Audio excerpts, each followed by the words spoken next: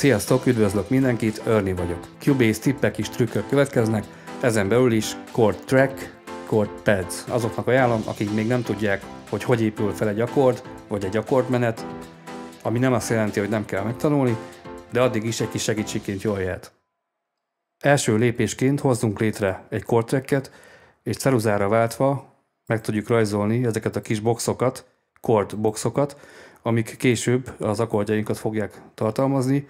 Szükségünk lesz egy hangszerre, legyen mondjuk egy gyári piano, és ezzel a chord trackkel ezt az angoraságot fogjuk vezérelni.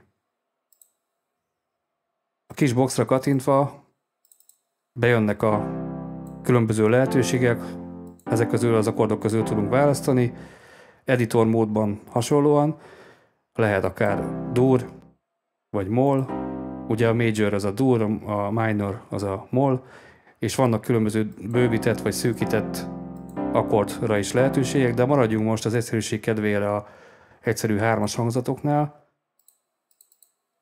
Az első hangunk az maradt a C-dur, a másodiknak jó lesz az az ámol,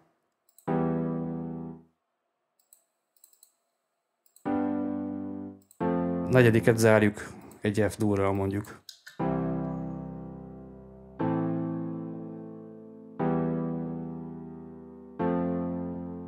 Nem olyan rossz végül is, de lehet, hogy ide még én beszúrnék egy akkordot.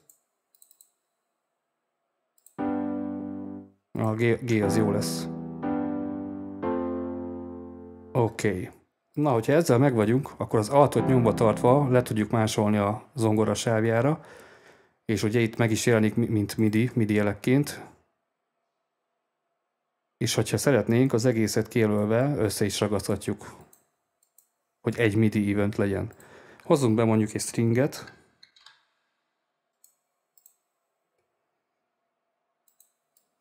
és szintén altat nyomva tartva.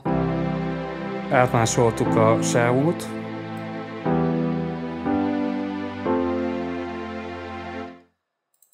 Media Editor módban, Chord Editing módban arra is van lehetőségünk, hogy bizonyos akkordokat más fordításban vagy verziókban is meghallgassunk.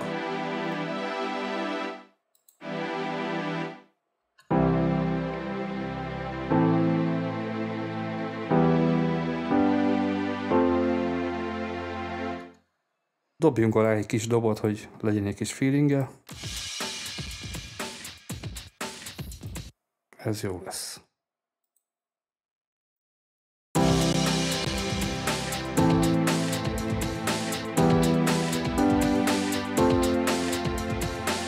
Itt az alsó zónában a kortpads főre kattintva előhozza az úgynevezett kortpedeket, amin már gyárilag is vannak különböző akkordok, és itt is tudnánk válogatni, meg variálni az akkordmeneten, de én szeretném azt használni, amit már az előbb létrehoztunk, így simán ráhúzom az első öt pedre.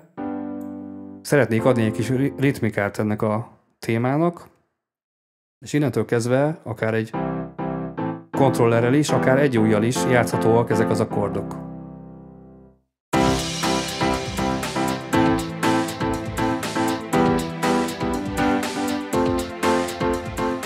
Annyit azért mindenképp tegyünk hozzá, hogy ez egy nagyon alapfelhasználása a chord tracknek, vagy a chord pedeknek, de remélem, hogy tetszett, és egy jó kiinduló pont lehet nektek. Találkozunk legközelebb, sziasztok!